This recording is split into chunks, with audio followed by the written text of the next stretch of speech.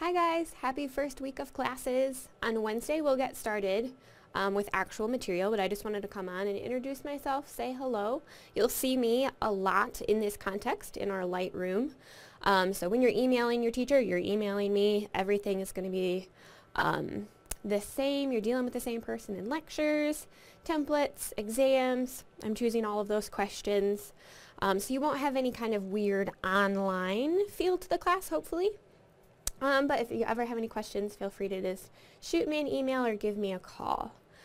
I'm thinking about posting uh, lecture videos and posting homework in weeks, um, in a week chunk. So coming this Wednesday, you'll everything will be posted for this week, so Wednesday, Thursday, Friday, even though we don't have class. And then the following Monday, we don't have school, but I'll post that week's material. So all of the homework will be due before an exam, so you have that entire time to work on it. But as far as watching lecture videos and working on homework, it will be open during the week that it's assigned in the syllabus, which you can find uh, in the schedule, which is in the syllabus. And it will be open again until the exam, until you take that exam. But it won't be posted until its week comes up.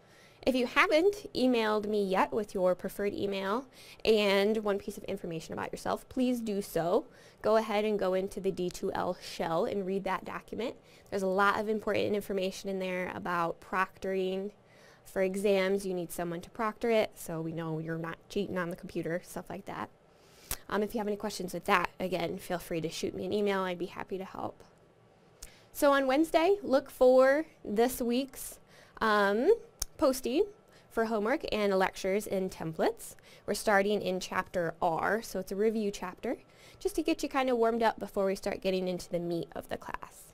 So again, as always, if you have questions, feel free to shoot me an email or give me a call. Um, I will be happy to help.